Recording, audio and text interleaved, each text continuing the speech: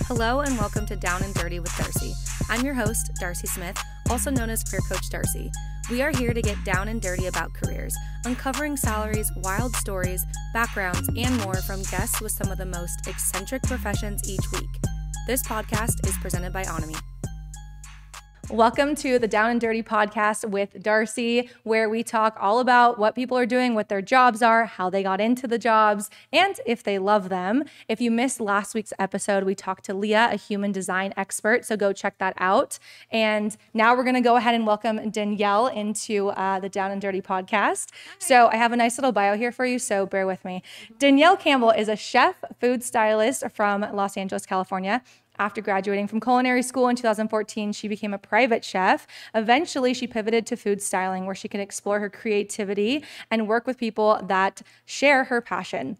Danielle landed her first food styling job in 2017 and decided this is what she wanted to pursue. Since then, she has worked on three cookbooks, done editorial, commercial, and television work. We will dive into how the heck one breaks into this industry. Danielle hates eggs and American cheese.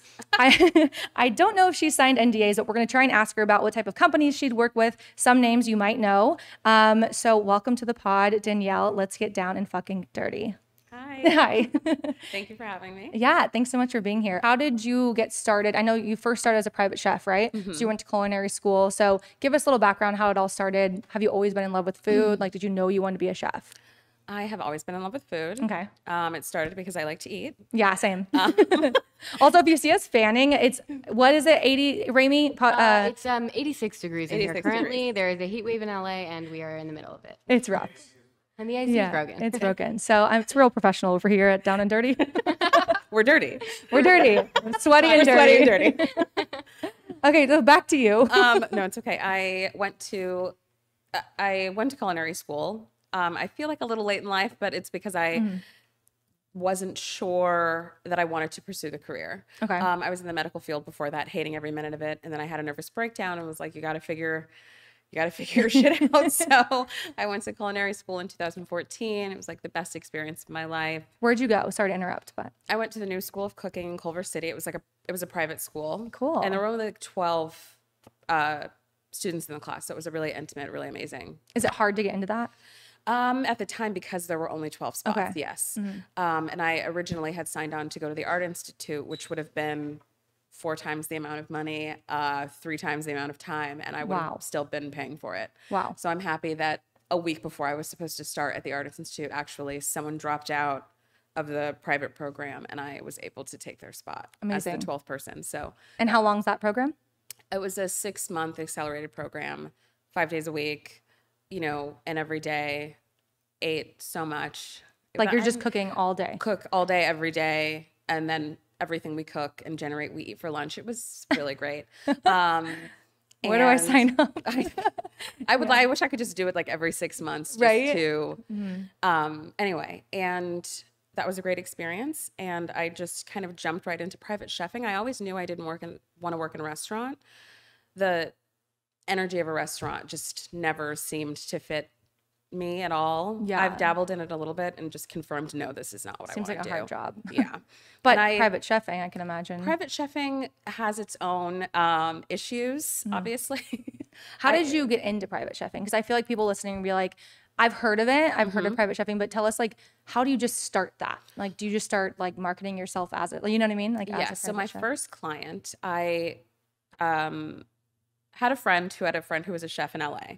And she was like, My friend Danielle's in culinary school. She wants to get in the business. So I started catering with him okay. and doing private dinner parties with him. And one of his private dinner party clients uh, was looking for a chef. And that's how I got my first private chefing job. Um, and then a lot of it is word of mouth. Once you work for one family and people come over for dinner for those parties, oh, who is she? It, it that's word just travels and you kind of are in this little community of people, which is what mm-hmm. soon happened. How many um, families at your height of private chefing were you doing? Like six. Wow. It was every crazy. meal. Um, so I had one, See, I don't know anything about no, this. no, no. It's it's it's, and I apologize for not explaining. Um, no. I had one family that I would go to their house and cook them um, dinner every night. Mm-hmm. But earlier that day, I would be delivering their lunch and snacks and everything for the following day. Wow. And breakfast and all of that. Kids, every the whole yes. whole shebang. Yeah. and um, then the other clients I was doing drop offs for. So I'm just like cooking all day in a hot kitchen at home with no AC. Oh, it's like right Um, now, but yeah, it's, it's. I'm, I'm, you're bringing me back. to yeah, the good old. Yeah. And Turn on the sun. funny Yeah. story.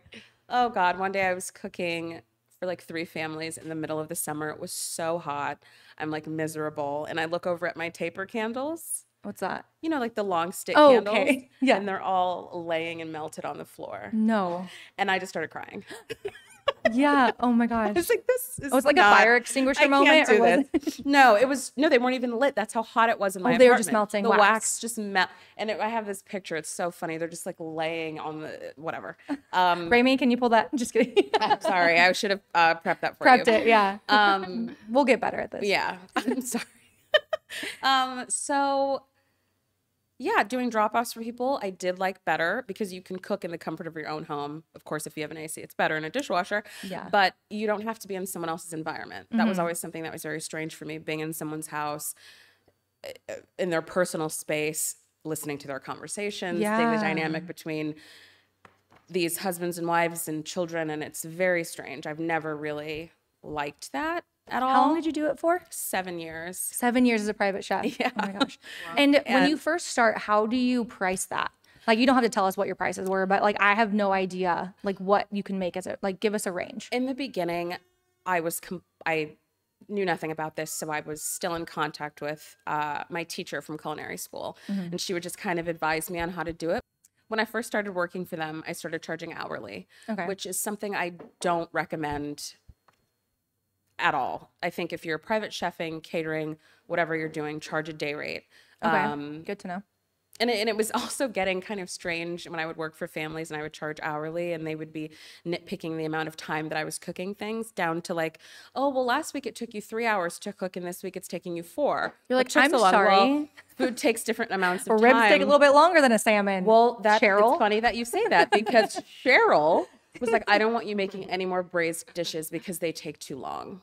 Oh my gosh. I mean, You're like, all right, you, Yeah. you can have chicken nuggets for dinner. right. And I was actually hired uh, for a family to cook for a two year old once. Oh my where I was making gourmet chicken nuggets.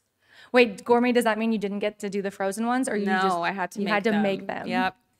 yes. Actually, can we talk later? Because I might be into those. I want I want some. yeah. Flashbacks. Yeah. Um. Actually, they were like um, vegan. It was. It was. It was awful. Yeah. It- it- anyway. Oh my gosh. Um. Okay, that- so you're private chefing, you're Yeah. doing all this. You're sort of kind of hating life or you're loving I'm you're- hating it. Okay, you're hating Yeah, it. but still not knowing what my other options are really. Okay, you don't feel like you have a calling for something else yet. You're not sure Right. where that's going to take you. So where was the pivot of I need to get the heck out of private chefing? like what was your thought process in that? Unfortunately, it took a very long time. Yeah, seemingly Um, 7 years. I, um, just some of the things that you encounter as a woman, as a woman of color in certain families here in Los Angeles. I think you can imagine some of hmm. the situations I've been in or the things that have been said to me. Sometimes I would go home and just be like, what am I doing in these people's house? yeah. And it's a really weird dynamic because you can fire them, but they can fire you. They've hired you, but they're a client of yours. It's kind of like a strange situation. They also sometimes feel like they're your friends, but Yeah. that's not. and it's all word of mouth. So you do one little thing or Right. something, a conversation you hear, and it's like, I feel like that circles probably like everyone. It is. And also, when you are freelance and you work for yourself, that family or these families were my sole source of income. So even if I hated it, I still had to go back the next day because if I don't work, I don't get paid. Yeah. And waiting for the next person to call. Um, also, it's really hard to market yourself as a private chef if you're not on social media. Now, these days, it's like social media, you can create an Instagram and blah, blah, blah. This was right. um, in 2014 when it wasn't really Wasn't like that. popular. Yeah. Um, so I honestly, I just stayed doing it miserable because I was terrified of not having any money. Mm-hmm. Um, and But how, what were your hours? Like, tell us what you were working because I can only imagine. well, Like, because you were probably at home cooking too, right? To cooking, like, I mean, I would get up at like 10 o'clock, have time to myself, maybe start cooking at 12 and wouldn't be done cooking until like 8 p.m. wow. Yeah, because I had to cook for people drop off, then go back home and go to the other family's house and be there to cook them dinner. Yeah. So it was it was a lot. And I'm it doesn't allow you any room to really be creative. unfortunately, when you're cooking for someone, people get caught in a routine. You're cooking the same thing over and over and over again, their favorite Yeah. dishes over and over and over again. And you're just like, don't you want to try something different? Yeah. Or when you have clients who don't let you use oil or salt on anything and request you to burn their vegetables. No. And you're just like, why? I, I, Why am I a chef? It hurts your soul putting Yeah. this in front of someone. And it's just, it wasn't for me. They're like, no oils, no butter, no. No. I'm vegan. I. What else do they say in LA? And some people love that, but I realize I don't care what you want to eat unless I care for you. You know what I mean? Yeah. My friends and my family, I love to cook for them. Mhm. But anyone else these days, I'm like, Yeah. never again. Okay, so you you finally made the jump. Yes. What was that turning point? I um how did that happen? Oh, I I think it was on Craigslist or something weird like that. I saw a job listing for a food stylist at Tastemade, which Okay. I'm sure you've heard of. If not, it's like a food media company that started with the hands and pans videos and just food content on the internet.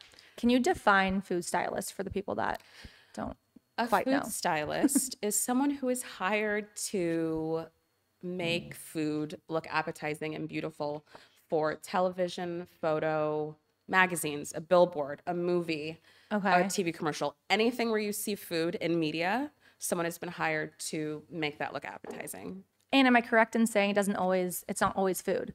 Like you can make Uh, a piece of food out of like clay or something. Um, not so much anymore. Back in the day, Okay. it was more of that. I think legally now, um, like for instance, I have not worked for this company. Let's say Ben and Jerry's hired you. You couldn't do like a Ben and Jerry's commercial and use a bunch of fake ice cream. I think that Has to be because that's false advertisement. Okay. You okay. know, so there's Yeah. something Can't like Play-Doh it up. yeah, I, it. and also, also a lot of that stuff doesn't really look real. I mean, if there's doctoring things up, making things look better, Uh-huh. maybe putting stabilizers in things so they last longer, or freezing things, you know. But for the most part, everything I use is pretty much real. Okay. Um, cool.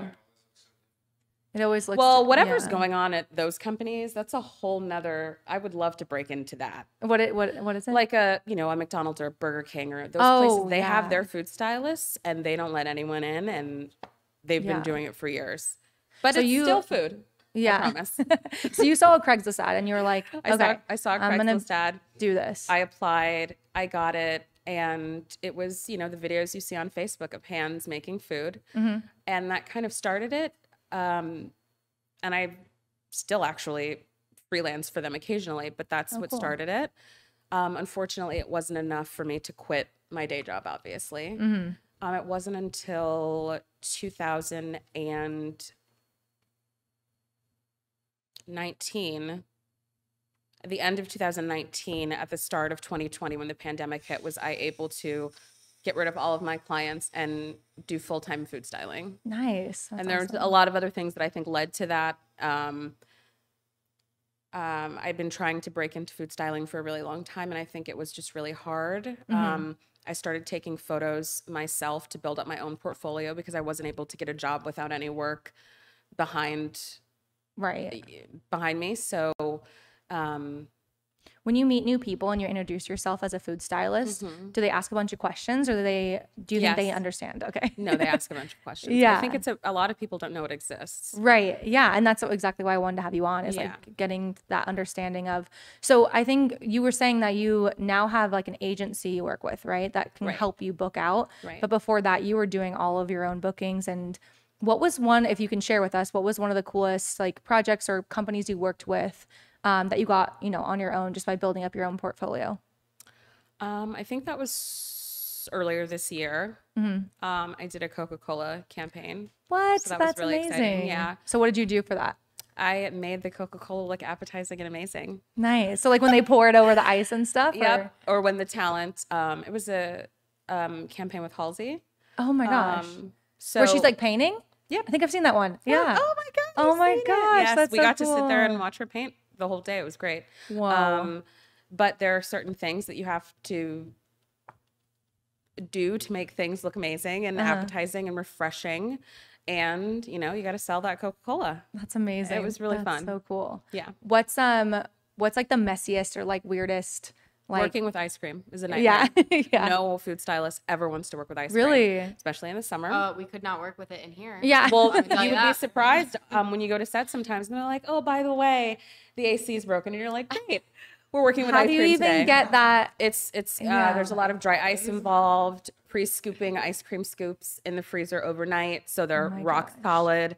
You know, sometimes with that, if it's if it's ice cream in a scene that isn't the ice cream brand, if that Mm-hmm. makes sense, then you can use fake ice cream, um, which is a secret mixture of some secret things. Oh, we can't ask about that. uh, no, it's just like frosting and Oh. um, and powdered sugar.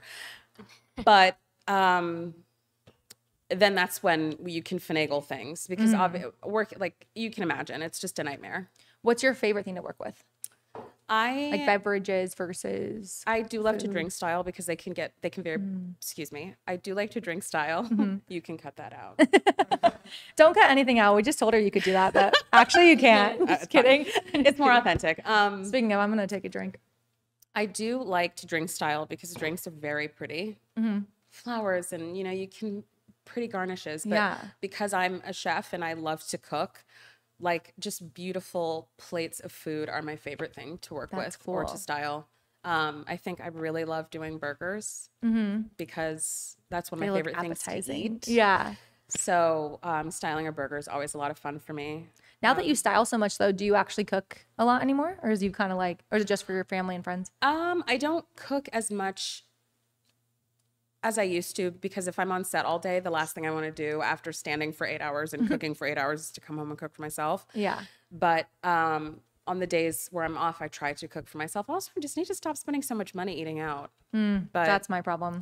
you know, whatever. Yeah. I do. I do love to cook because I don't have AC. Like right now, I'm not baking. The stove is barely coming on. Oh my gosh. Because yeah. it's too hot. Yeah. So Oh yeah. Well, we know that. we know that.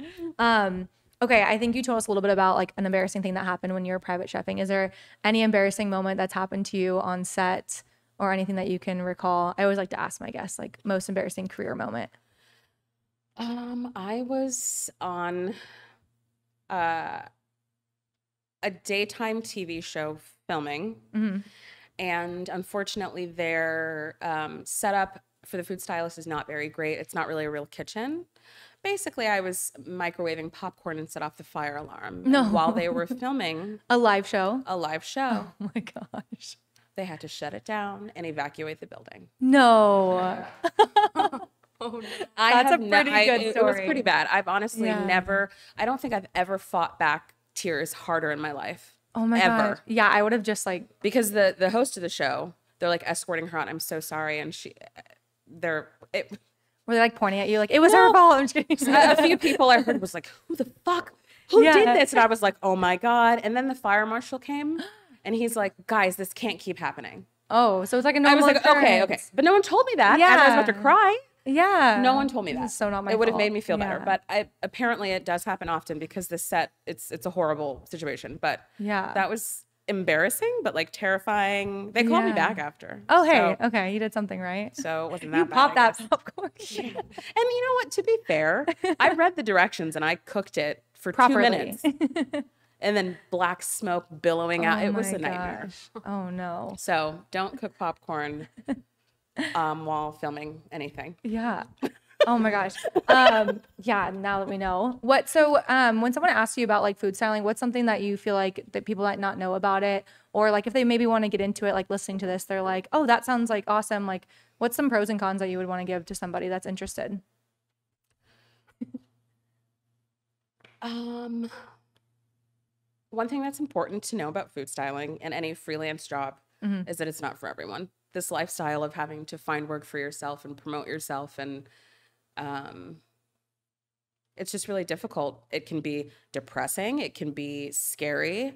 Um and if you don't Like you're always waiting for the next you're always waiting for the next for the next thing and sometimes when work is slow like around the holidays um, you're terrified or for instance if you don't have a nine to five and covid hits and every single Right. private chef job you had canceled you because they're afraid you're going to kill them and Mm. all production has stopped Yeah. during you know the first few months of 2020 i was like what the hell am i going to do Oh my gosh. um shortly after that, production started up again around June, and we were kind of like started up, and I've been working since June of 2020. But those first few months were pretty crazy. So, and I've had some friends who have tried to break into the freelance life, and it's just it's hard. Mm-hmm. Um, Yeah. you just have to have faith in what in yourself and what you're doing, and know that you'll make it eventually. Yeah. Um, Well, on that on that token, do you feel like there is opportunities out there for people that get into that don't want to go into restaurant? Is there companies you can work for that are food styling companies that you can get like a W two job with, or chefing companies that you can get a W two job with? Yes. Um, one thing, my experience breaking into this business, I think, is very different. Like I said, I was trying really hard to break into it and was kind of getting ignored. Hmm. And I think one thing that benefited me, which also is kind of a, a weird subject, is in 2020, people were trying very hard to hire people of color. Hmm. And I think I was given a chance finally. And hmm. then my work spoke for itself. Yeah. And then I've, and then of course, Terrible I've, that had to come to that. right but I, I do the the influx of people interested in me during that time Mm-hmm. was great it was also very hurtful because it was like well i've, I've emailed you before I've always been this person. I've yeah, always been- thank and you. there were companies that and people who actually emailed me and were like hey this has been sitting in our inbox for two years sorry we've waited so long to get back to you oh my god. crazy stuff like that. So because of that, that is why I think I've one of the reasons. That is Mm-hmm. obviously not the only reason. I do think I am talented and I do think I'm good at my job. Hell but yeah. I think that's how I kind of got my foot in the door in the beginning. And then of course it's my job now to carry it to carry it Mm-hmm. Yeah, on. to where it is. Yeah. In terms of starting in this business, I think working at a food media company like BuzzFeed or Tastemade or these places where you can create content for Instagram or YouTube Mm-hmm.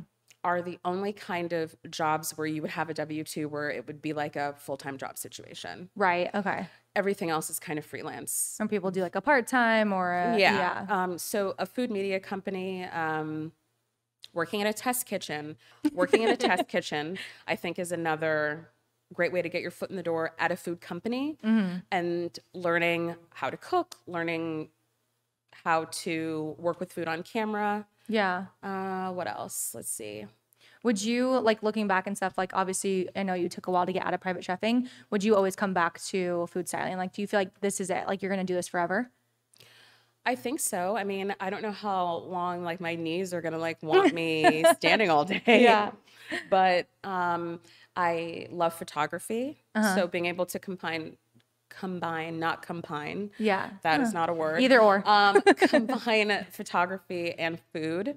yeah. Those two things are just have always And the been creativity of it. and- creativity. When I'm cooking chicken nuggets for a two year old, I'm want to kill myself. Yeah. So this is fun. It allows me to be creative. Also, it gives you a body of work that you can like look back on. Like it's a photo, it's captured. you know? Yeah. Yeah. Um, That's so awesome. so I don't We- know if I answered your question. I'm sorry. No, you did. Yeah. We um kind of talked about this when we talked earlier, Mm-hmm. but I'm really big on salary transparency. I love people Mm-hmm. to kind of know what they're getting themselves into. Um what I don't know if you can because I feel like it's all over the map when it comes to like um being a freelancer, right? Mm-hmm. But like what's like a range of working on a project or working on a set? Like what does that look like as far as money wise? There are two separate categories working for a food media company because they're a company they have their set rates there's no negotiation sometimes a day food styling with a food media company can start at like 500 a day Okay. And that's a whole Some- day. Yeah, sometimes less, and taxes come out of that. So Oh yeah. it's That's not. not even what yeah. yeah, it's not great. Um, uh, freelance food stylist. Obviously, you can set your rates and How you um, want them. Some Yeah. you can rates can start from 800 a day and just climb all the way up. Mm-hmm. Um, there's really there's some jobs where I've gotten offers and I'm like, oh wow, I didn't even know that it was an option to make this much to on ask a them. job. Yeah. Yeah. So I mean, I I don't think You learn as you do it's, it. It's a matter of your experience, your portfolio, and of course the client. If you get a big client, they have higher budgets and Do you feel like getting an agent or is it agent or manager? Agent. Agent. Do you feel like that's helped you negotiate or your fees? I am new to having an agent. I've only um, had an agent since January. Well, I guess that's not that new anymore. Wow, it's August. Anyway, Here we are. um, yes, that is one of their sole purposes is Oh, to handle all of that for you. So you don't have to talk money, you don't have to demand things. They do all of that for you, and it's amazing. and there's a lot of things that I didn't even know to ask for that my agent asks for, Oh, cool. and um, like an air conditioned area for you to. yeah, or like sweatproof clothes. Yeah. No, um, yeah. Uh, kit fees, um, and you know, mileage and just things that Oh, you don't think about when you're doing it on your own. When you when you work on a set, what's your favorite type of like TV, movie, you know, commercial? What would be your favorite? Actually, my favorite thing to do is work on something small like a cookbook. Oh, the really? Commercial jobs are Hell in a handbasket? It's it's that a you know phrase hun- like hundreds of people. Yeah. It's it's just it's really intense. Um, Yeah. I recently did, which came out this week, a Jamba Juice commercial and campaign, ask, and it was so much fun. But it was a lot. It's it's so much. I like working. Um, on cookbooks, it's just you, the photographer, maybe the author, a real your assistant, just like a small team, and you're kind of just like That's in this zone for like two weeks. Um, it's like So a- you're selling the food that that cook has made, or are you also making your face? You're making the food. yeah, no, they're not making the food. Oh, Yeah, I love this. the yeah. down and So- dirty.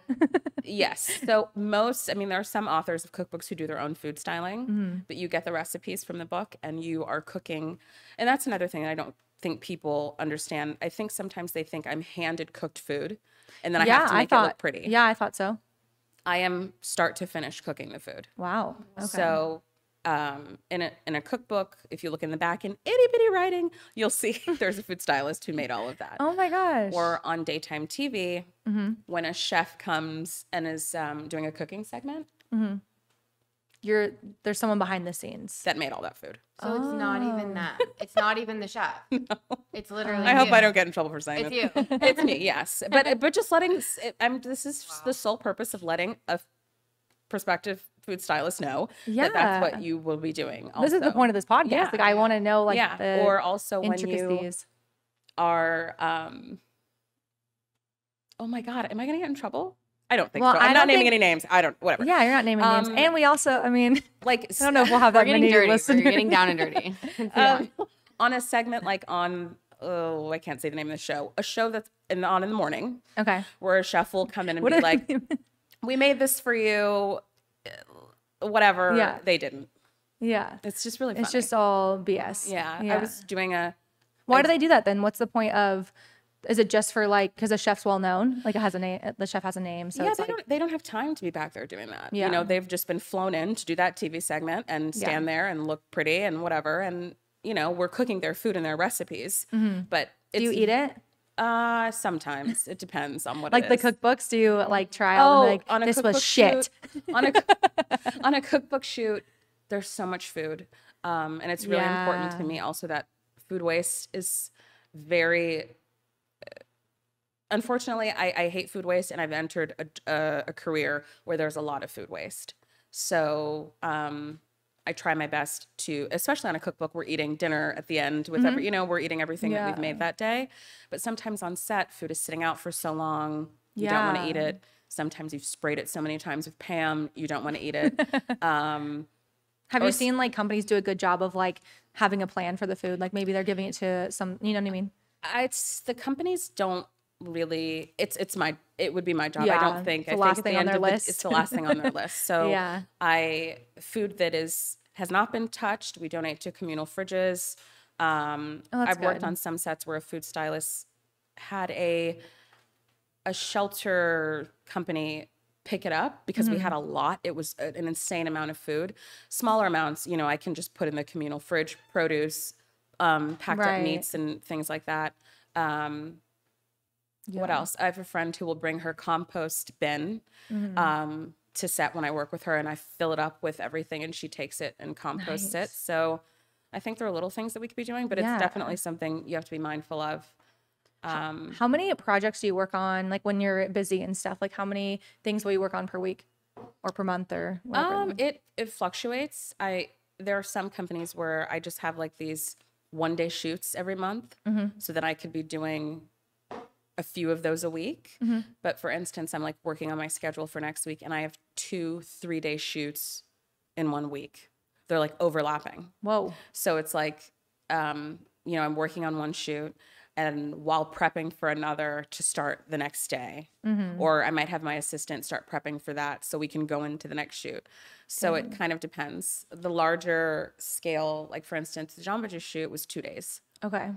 So depending on the production, it could be a one day quick thing or it could be um, a five day shoot like I've had before. Or, you know, it's a lot.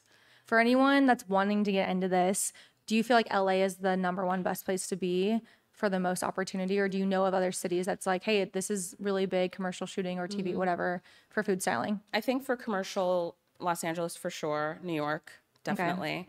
Um, I'm someone who has loved loved editorial work, which is magazine work, um, and unfortunately, that's not really a Los Angeles thing. That's more of a New York thing.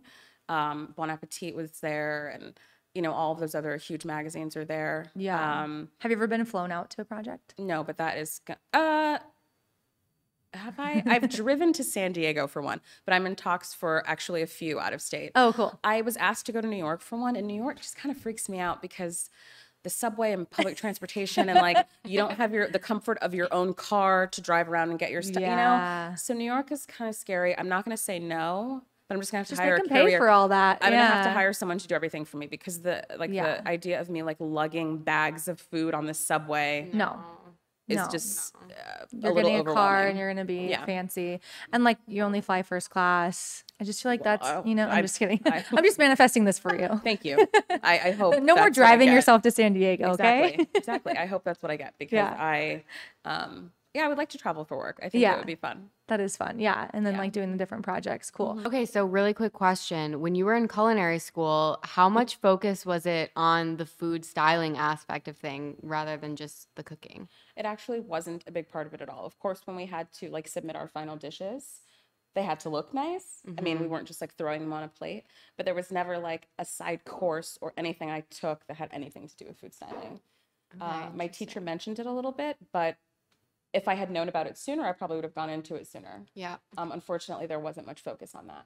Is do you know if there is culinary schools that would focus more on that, You know, I'm not or some type of like art that's like this grooms you for becoming a food stylist? not that I know of in culinary school curriculum, but I do know there's a lot of people on Instagram and YouTube now that offer food styling um, courses, that you can pay for and take. Yeah. Do you know a lot of people in food styling that have not, don't know how to cook? Like That's the thing. That yes, is- that yeah. have never been to culinary school. Yeah. And I think they they just have a Oh, whole gosh. different mindset on Yeah. things and the way they do things. Yeah. When you know how to cook, you know how to make something look like something else without taking all of those steps, if that makes sense. mm-hmm. that does make sense. Yeah. because you know that was kind of I said that kind of weird, but I can make something look braised without like having to do it or make something look grilled because I know what it takes to you know what I mean? Yeah. Yeah. Um yeah. but I think it's important to also know how things work so when you're plating a dish it should make sense as to how it would have gotten there if you did it the right way and you knew what you were doing because you were a chef. Right. Does that make sense? yes. Okay. Yeah. One more question. Have you ever cooked and styled something for a celebrity or a celebrity chef and they were like, what the fuck is this? Like, absolutely. Like not. they hated it. No, I have a terrible story about a celebrity, but it wasn't because they hated my food. Do you want to hear it? Do Yes, tell. Absolutely. Yeah. What is the story? Tell. this celebrity hired me to cook um, a steak dinner in their home for like 10 people. And long story short, like I go in and the wife is like, I need you to take your shoes off. There's no shoes left in the house. So that was like number one, just like kind of irritating. then also, I don't recommend that. Don't cook in anyone's house with your shoes off. It's safety problems. Just wear, carry the booties with you Yeah. everywhere. Um, so I'm cooking and she's like, you know, do you mind putting this cookie sheet in the oven? Um, just in case you drop anything in the oven. I don't want you dripping anything. So put this cookie sheet in the bottom of the oven. Ugh.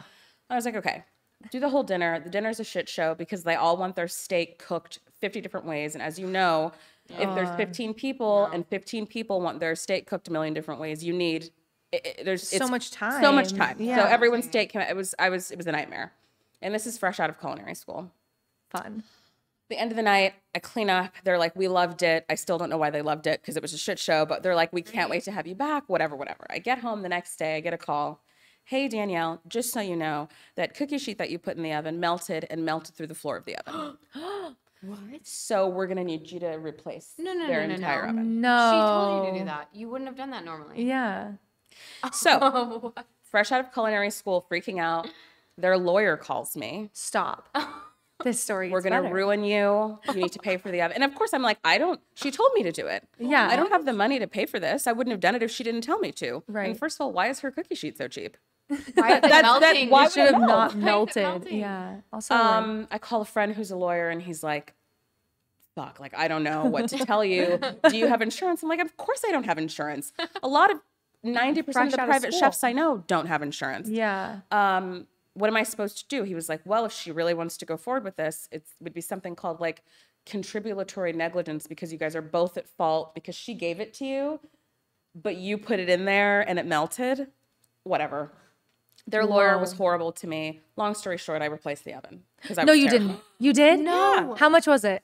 Thankfully, her oven was as cheap as her cookie sheet. Oh, bitch. It was about five. It was about five hundred dollars. Oh. what, what right. the hell? she had a wolf or a Viking or a Yeah. professional grade stove. Oh, no. that could have been in the Thousands. thousands. Um, my Home Depot stove is like twelve hundred. So what was she buying? I don't know. It, but And where do I get it? was the- Celebrity. they were able to like take the panel out of the floor of the oven. You know what I mean? Like there was like Yeah. a piece, but it was a nightmare. It was, they were so mean, and so you legitimately paid for that? yeah. A celebrity who has plenty, and and seemingly, and then in the defense, the lawyer, his lawyer is like, "Oops, I said he." Doesn't matter. um, the lawyer's like, "He's so rich." You know, you're gonna regret this. You could be working for them for years. And I'm like, if he's so rich, and I, know it was a mistake, and I'm sure they have homeowners insurance, just pay. Like, Also, I don't think I want to be working for him. well, for years. obviously after that, well, like they even never. like, I if never. he's that rich and not paying for Right. that, or he probably didn't pay you well for the. I don't even remember. It didn't even matter after Yeah. that point because I had to give them five hundred dollars of my money, and they terrified me, and like it was Oh just a really not great experience. So now every time I see this person on TV, I have PTSD. Oh heck Yeah. I literally can't You have to tell us off screen so we can also like hate him. I'll tell you. yeah. Oh my gosh. Okay, we're gonna play a game Mm-hmm. that I call Smash or Pass. Well, everyone calls it that, but I'm gonna call it Eat It or Trash It. Okay, So, phone calls. Uh, trash it, Ooh, uh, airports. eat it, Oh, because I that means I'm going somewhere. okay, okay. I want to go everywhere. Onions, Oh my god, eat it! I love onions. always. Yes, but mostly raw. I had raw onions today. I'm sorry if you can smell it. Raw onions. I love a raw onion. Oh my gosh, I love a sautéed onion. But like what? I mean, the, of course I do too. the sweet, the Just like the the punch and crispiness. Yeah, that Okay. you get that cuts through your food is so good. I can appreciate that. Uh, fake meat. A definite trash pass. Go okay. away. Okay. No. Okay. I'm with you. I'm with you on that. Um, private chef. I guess I for somebody it might be eat it, right? Okay. For would me- you have a private? Not well. You being someone that doesn't know how to cook, would you have a private chef? Like if I was rolling in the dough, would I have a private chef? No, not daily, but I might have someone do dinner parties for me. I think that would be Oh, nice. cool. Yeah. That would be cool. Okay. And then you say eat it for someone that enjoys private Yes. chefing and, And if they hate it as much as I do, get get the hell out. Get the hell out. Run for your life. okay. And then the last one is being a food stylist. Eat it up. Yeah. Um, Forever and ever. Yeah, as you long as your play, knees if you like to play with food all day, right? And if you like to play with food all day, and you know, it's not you still there are people you're working for and clients who are very Mm-hmm. specific. Sometimes that can get really tedious. Yeah. Oh, that ice cream is the wrong color or whatever, and it's like, well, it was the right color ten minutes ago. Yeah. or you know, that cheese needs to be meltier. Oh, or there's not enough steam coming out of those fish sticks.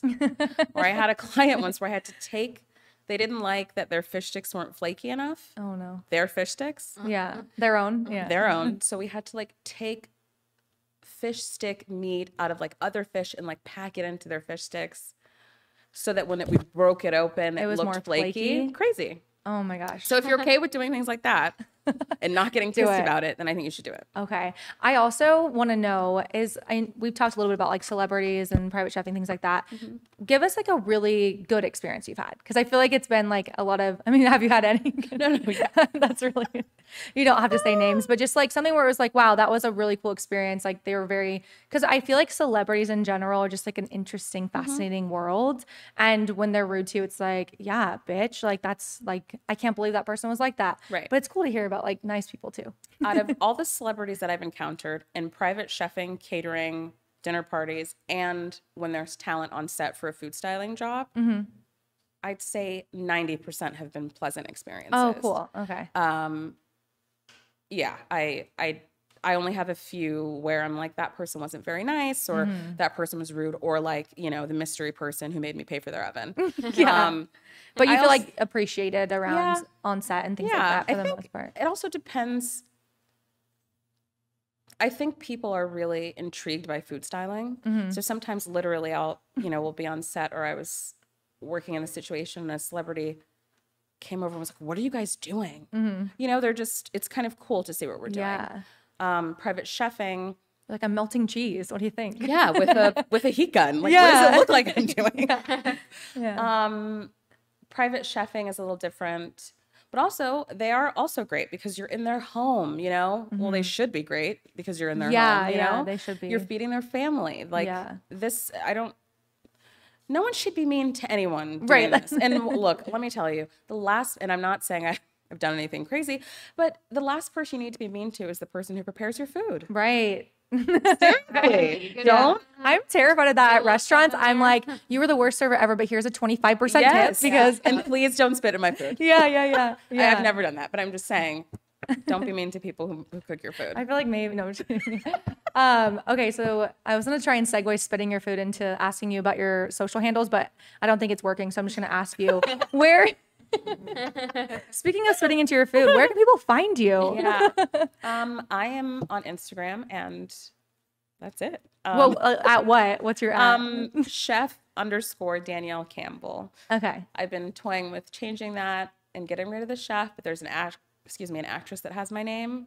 Oh, So like I don't know if I should do that. So I think I'm gonna keep chef in front of it. So it's chef underscore Danielle Campbell. And my website is also chefdaniellecampbell.com. Perfect. I've actually creeped her Instagram and it's really cool. like it's just really cool to see the projects that you do and like especially that Jamba Ju. I think that was yesterday you posted it. Mm-hmm. I was like so intrigued. I was like, oh my gosh, I know her and she did these little like smoothie. I don't know what part Oh you my did. gosh, I'm looking at it right now. Yeah. Oh my God. This, This- is so it was cool. really fun. Yeah, But so- the amount of work that went into that and like the prop stylist, the set Oh, design, like yeah. it's insane. It looked So, crazy. I mean, yeah. even just watching it and not knowing how things work, I was like, oh, that must look, that looks hard. To do that stuff is fun. So if you want to get into food styling, commercial work is fun. Yeah. It's hard, but it'd be great Cool. if you can have a balance like I do, where I do both. Yeah, that's awesome. Well, thank you so much for coming on and like giving us the down and dirty of exactly like what food styling is. Um, and uh, this podcast comes out every single week. So if you want to check it out, subscribe on your podcast platforms or on YouTube. Um, I'm Darci at Career Coach Darci. You can follow Danielle at chef underscore Danielle Campbell. And of course, our amazing um, partners here, onomy, onomy.co. Um, and yeah, check us out next week. Thank you. Thanks.